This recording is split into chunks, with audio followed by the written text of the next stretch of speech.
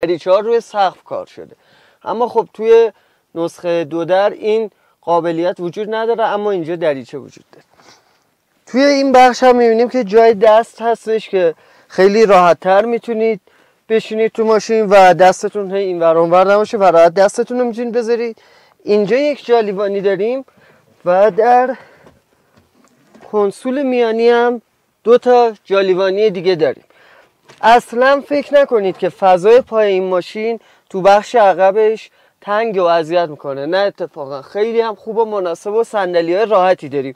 اما تنها مشکل اینه که این شیشه ها باز نمیشه و باعث میشه عقب این ماشین دلگیر باشه.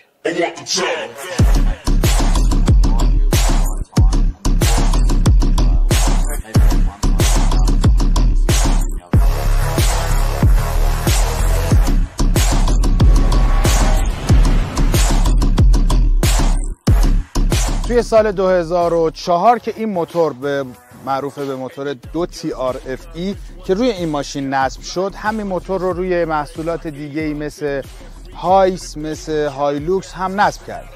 اما این موتور چه مشخصات فنی داره؟ چهار سیلندر خطی که 163 اسب بخار می‌تونه قدرت تولید بکنه و 246 نیوتن متر گشتاور داره. یه گیربکس چهار سرعته بهش وصله و قدرت رو به چهارچرخ این ماشین انتقال میده. توی این نسخه هم دقیقا همون پیشرانه و سبک فنی اون خودرو رو داریم می‌بینیم. یعنی حدود 163 اسب بخار قدرت داره و 240 خورده نیوتن متر هم گشتاور و یک جعبه دنده چهار سرعته قدرت این پیشرانه رو به چهار چرخ همیشه داره منتقل می‌کنه که از نظر فنی زیاد فرق نداره هم ولی همونجوری که گفتی بعدها موتور تغییر کرد و یک موتور دیگه جایگزین شد توی پرادو هایس و هایلوکس توی این نسل جای خالی موتور 6 سیلندر کاملا احساس میشه تو بازار ایران, بازار ایران. اما توی اون نسل داریم دیگه 6 سیلندرش که خیلی جذابه. موتور 6 سیلندر روی این ماشین که نصب میشه انگار یک جوجه ای داره پرواز می‌کنه. با همون سرعت و همون قدر زیبا. ولی این ماشین می‌تونه کلی براتون ناله بزنه و آه و ناله بزنه. چهار سیلندرش هم فکر به تعداد محدود دنده ایشم وارد شده. خیلی کم دنده ای هم تو نسخه 14 هم توی نسخه دو در داریم.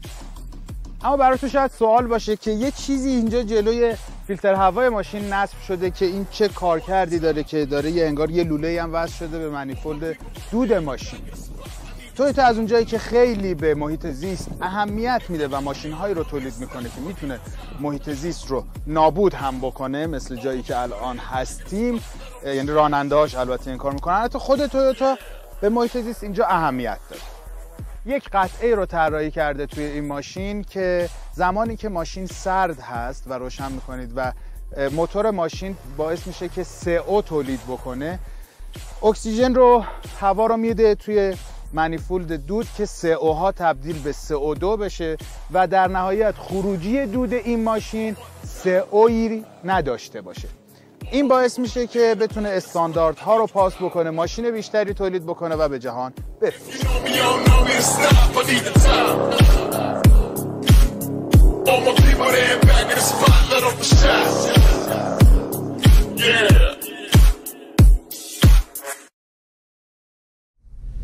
از نکاتی که این ماشین داره اینه که کمک سیستم کمکش به صورت کامل مکانیکی هست و چیز برقی نیست که شما بخواید ماشین رو به حالت 50 50 قفل دیفرانسیل مرکزی و به اینکه بخواید که حالت کمک سنگینش رو در بیارید چیز مکانیکی دارید یه دست دنده مکانیکی دارید که خب خیلی قابل اعتماد تره.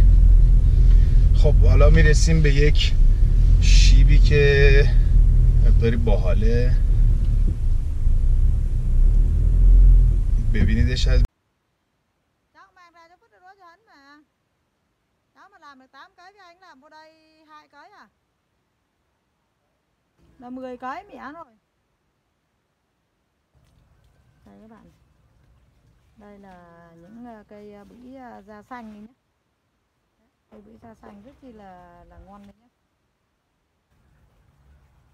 những cây bưởi da xanh. Này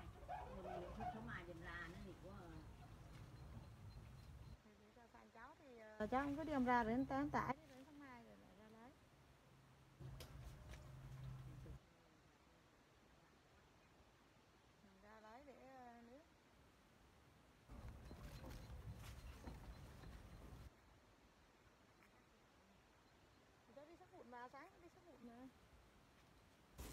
mà cháu mà không đi thì em cũng cứ vận tải cho cháu được mà, về sáng cho mà sáng cho qua tôi lấy được mà.